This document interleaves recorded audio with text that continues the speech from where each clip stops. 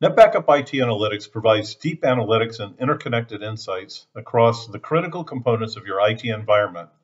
It provides you with benefits and efficiencies in data protection, storage optimization, chargeback, and public cloud. Let's start out with a quick overview of what NetBackup IT Analytics is and some key benefits. We'll then discuss the new features of the NetBackup IT Analytics 11.1 release. IT Analytics is a platform that aggregates and visualizes your data in both hybrid and multi-cloud environments via a single pane of glass to optimize your infrastructure and provide both cost savings and risk mitigation.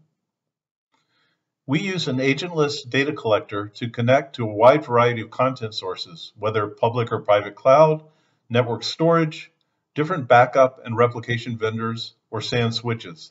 By aggregating this data, we can optimize your data protection and storage and provide comprehensive capacity reporting and chargeback. Now let's discuss the new features. Features within IT Analytics 11.1 include the ransomware scorecard, which measures a customer's ransomware resilience and readiness in terms of data protection and recoverability, Microsoft Azure cost history reports, and the IT Analytics data collector, which can now be installed on a Kubernetes cluster. This approach helps reduce human errors caused during manual or ISO-based installations.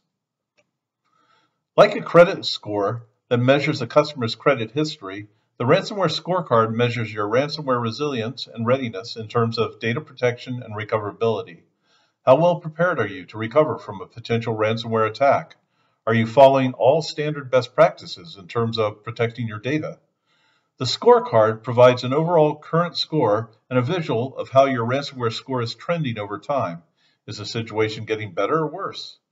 Some aspects of ransomware resiliency can be difficult or impossible to determine from data collected by IT Analytics.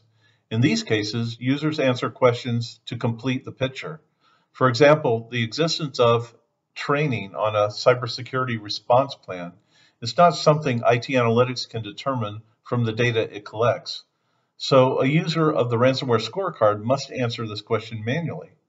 IT Analytics collects data items from a customer's NetBackup environment. For example, are there hosts in your environment that have not been backed up? Are there backup images impacted by malware? Based upon the answers to the questions and the data items collected, a ransomware score percentage will be provided with recommendations on how to improve the overall score.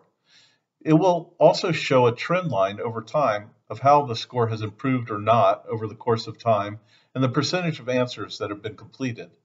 The score column includes a warning triangle with those items which have a high level of risk. The scorecard also collects information on data items, such as the one listed here, where we're looking at the version of NetBackup the customer is running, and only one of the NetBackup servers is running NetBackup 10, which has included in it a number of additional ransomware resiliency new features. Data items also have drill down reports which present the data upon which the data item is based. For example, in this report, we're seeing that a particular backup image has been impacted by ransomware. Alerts can be sent by IT Analytics when your ransomware score fails below a certain threshold and an administrator can be notified. Many corporations that use Azure have literally thousands of Microsoft Azure subscriptions. Managing billing for all subscriptions independently imposes a huge amount of effort. Veritas delivers a method to roll up all subscriptions into a single manageable report. You can run cost history reports by subscription or region so you can determine which region's Azure subscriptions are costing the most, for example. The third new feature involves deploying a data collector Docker image on Kubernetes. This approach also helps reduce human errors caused during manual or ISO-based installations. Thank you.